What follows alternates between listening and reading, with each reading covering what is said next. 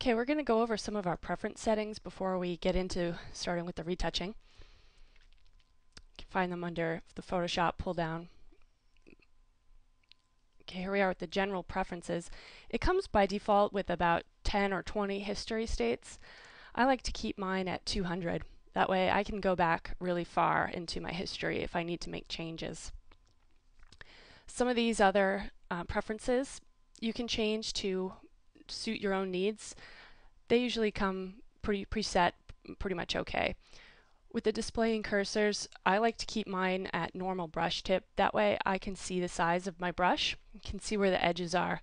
It gives me more control over what I'm what I'm working on.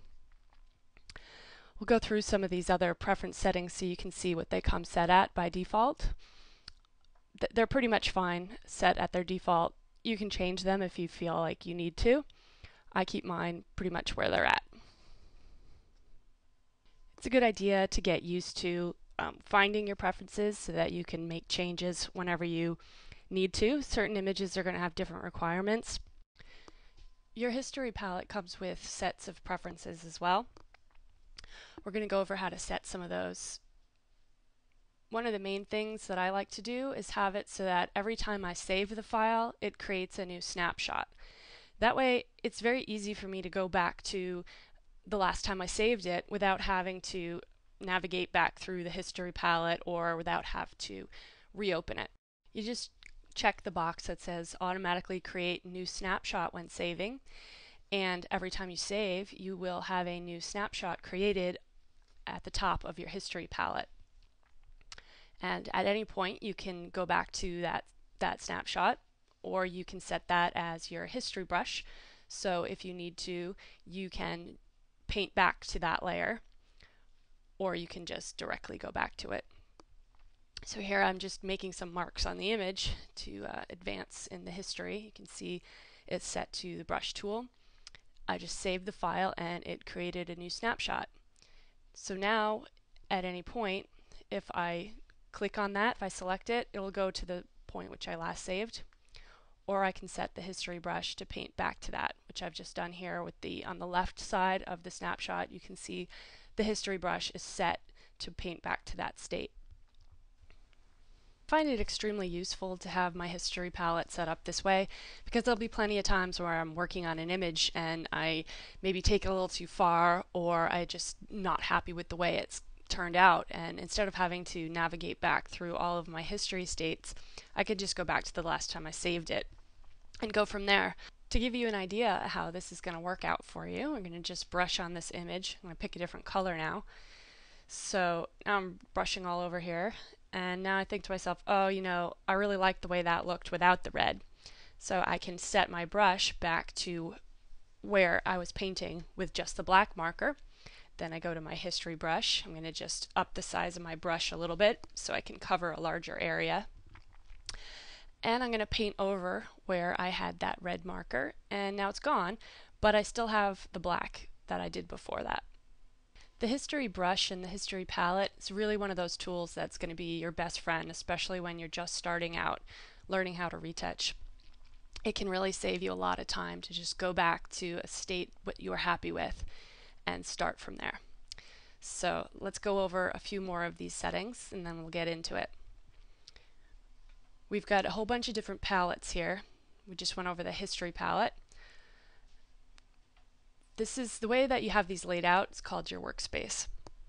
Your workspace is whatever you find yourself happy with. The navigator, I never use it. Some people use it all the time. I find it a waste of time, so I don't like to keep that open in my workspace. The info palette is another one of these major palettes that I use every day in every image. It tells you what your actual readings are in any section of the image. These readings correspond to um, you know how much density there is in that image of each channel. Um, so basically here we've got the, the marker that says RGB, that's your red, green, and blue channel. Um, if you're working in CMYK, you can read it in CMYK also. These numbers in the info palette, they correspond to the actual data that's in the file, the information it's very important, especially when you're working with images for publication on a printing press. You need to make sure that you have enough information in the whites and in the darks and that your reds don't have too much magenta in them, etc. So the way you make these readings, you take a sample with your color sampler and you put it somewhere in the image and it will show you what the reading is for that specific area. Or you can hover and it'll give you readings across the image, but for an actual accurate matching, use your color sampler tool. The histogram I never really look at that, so I'm going to dock that to the palette wall. Same with some of these other palettes. Color, these are these are useful for designers, but for retouching, we're not going to be using them.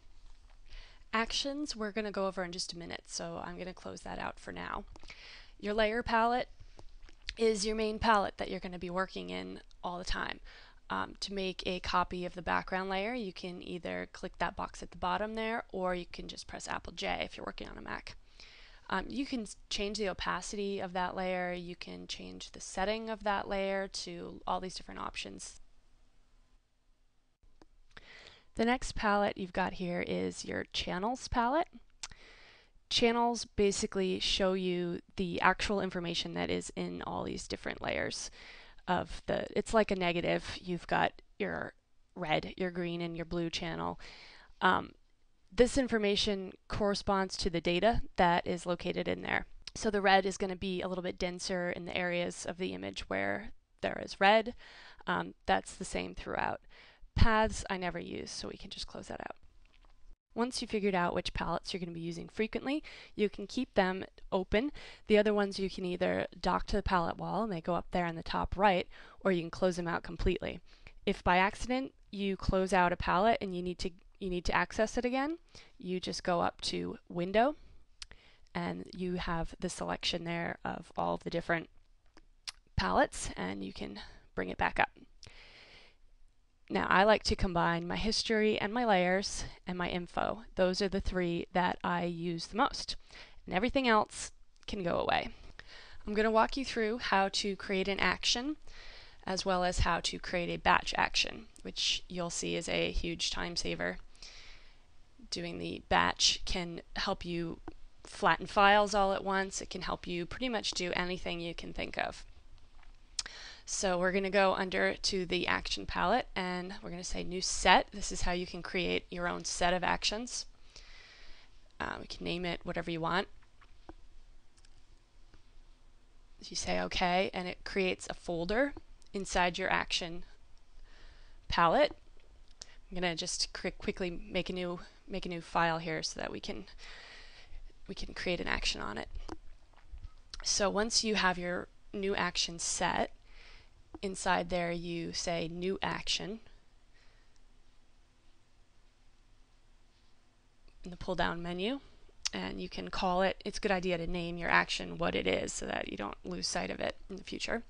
So we're just going to create one to flatten the image. Click on the red dot to start the recording and then everything you do from there will be part of that action. So here I'm making a copy of it and a couple copies of the layer and it's showing the creation of these new layers. I'm going to merge them down into one and then I'm going to stop recording and here's my action now is to make several layers and merge them together. So if you click play it will go through all of those actions there by making copies and then merging them.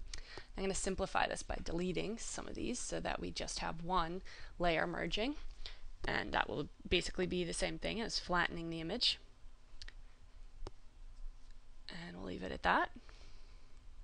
So now if you press play, if we make a second copy and then you press play, it will flatten the image. I'll just do a little bit of drawing here so that you can see what's going on. The drawing is only on the top layer and the background is pure white. Now that it's flattened through our action, we have one image with black marks on it. Once you have an action made, you can run a batch action, which will save you so much time if you need to do the same thing to multiple files.